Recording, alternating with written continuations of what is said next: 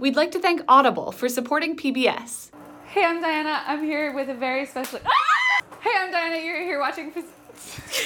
Hey, I'm Dianna. You're watching Physics Girl. I'm here with a very special guest. iJustine. She's. Ah! The person that I'm clearly torturing in that video is Justine. She's a tech YouTuber. She's been on the internet forever. She does phone reviews and the occasional cooking video. I don't know what came over me, but I just wanted to bring her scary science experiments. She told me at some point that she doesn't get scared easily, and I thought, sounds like a challenge. If I I'm here with iJustine, and it's off. It's, you're good. I don't. Oh God, I don't know. I, we were talking. She's like, "Oh, do you get scared very easily?" I'm like, "No, absolutely not." And then you bring this over. Shout out to Justine's channel, iJustine. Go check it out after. But while we have her captive, we started where all spooky videos should start. Um, I brought some dry ice. okay, I love dry Freezer. ice. How do you feel about nails on a chalkboard? I don't like it. Great. Oh no. Okay, so go ahead and touch the dry ice right there in the middle with the spoon. Oh my gosh. Oh! Don't you dare! Fork was terrible. That was the best reaction I I'm could have hoped for. traumatized. let's let's let them hear. Oh! Ah! The scream happens because the relatively hot fork turns the dry ice straight from a solid into a gas really, really quickly. The CO2 expands really fast and pushes the fork away. But then you're pressing it down so it goes back on to the dry ice and then it'll push it away and back and forth. And that sort of vibrating back and forth will make it scream. This only works with thermally conductive materials like metal. Feel it, feel the metal now. Yeah, it feels really freezing. cold. These materials, like metal, heat up the dry ice very quickly, but in turn become very, very cold. I was trying not to do this when Yeah. I was starting. You can see it vibrating. No way. Yeah. And you can also see that carbon dioxide, like which way is it going? Yeah, it looks like it's going, down. Down, yeah. Since the gas is more dense than the air, Yeah. if you carefully pick up the bowl, you can pour that into the candle. No way. That'd be so cool. Let's light it back up. this is my favorite reaction when it's like, let's do it again. yes. yeah, it'll go out in there. That's so great. Okay. Oh, it's So awful. Justine was doing so well until I brought out my favorite piece of physics equipment this metal bowl. Just kidding. The Van de Graaff generator. That's all. Whoa, whoa, Okay. What? Wait, I turn around and there's a time machine. This only produces 300,000 volts. I'm, I'm afraid to even touch it. Okay. Oh! Oh, I'm feeling weird. Ready? Yes! We haven't even started the video. Actually, like if you use your knuckle, it's not so, yeah, so bad. If you if you use your Ah. knuckle. Oh gosh. You can do it. Oh, I feel like I can feel. Oh, Yeah. why? Ah! it went through my whole body. Okay, scale of 1 to 10.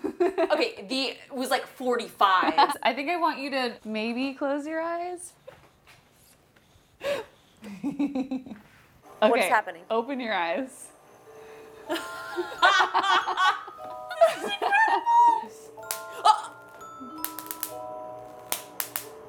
Are you cooking her? There we go. There's some good sparks.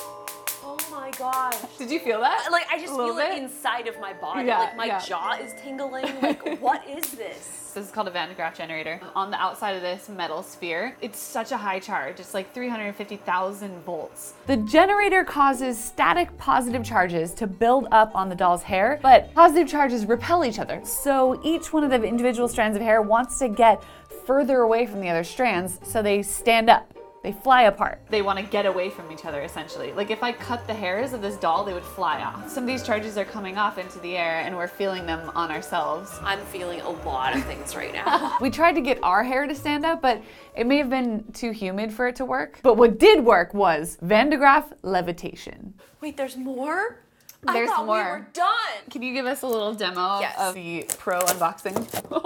These, These are pythons here. It's kind of like baking with electricity. Yes. All right. No way. This is really incredible. This is so great. yes. Yes. that was that was epic. It was beautiful. All right, this one's not. It's not gonna shock you. Uh, do you promise? I promise. I've lost Look all how- my faith in you now. The finale in my quest to scare Justine involved a plasma ball. And this doll. Oh, yeah. It's my creation. Creepiest thing I've ever seen. So I gouged out her eyes and I put some red tape over them. And then I cut off her head. And I this is not normal. And I stuck a fluorescent light bulb up inside of her head so that when so that when you bring the tube near the plasma ball, it'll cause the eyes to light up. This is the weirdest one. All right, so I've got this doll that I brought you. I'm just gonna bring it close to. oh my! What is this? That is super creepy. What have you done? Creepiness factor. on a Th- scale This of- is probably your creepiest. This is just like a normal fluorescent light bulb. Yeah, isn't that cool? That's crazy. So Yeah. how is this happening? So let me repeat.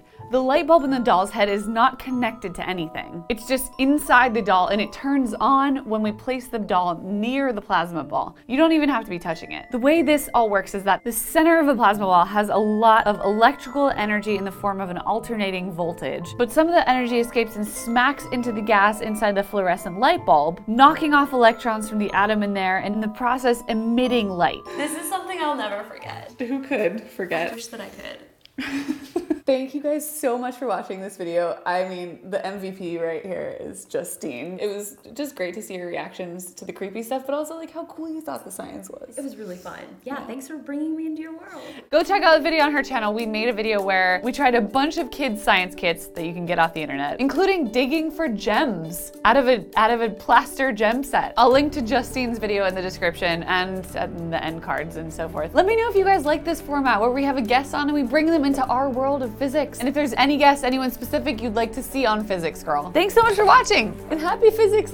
Oh no, lost my microphone. I'd like to thank Audible for supporting PBS. Audible's collection of audiobooks includes Audible Originals, audio titles created by storytellers from around the literary world. For example, you could check out The Three Day Effect, an audiobook all about how spending more time out in nature is better for your health and happiness. You could even listen to it while walking outside. For more information, go to audible.com slash physicsgirl or text physicsgirl to 500 500. Members own their own books and can access them anytime. For more information, go to audible.com slash physicsgirl or text physics girl to 500 500.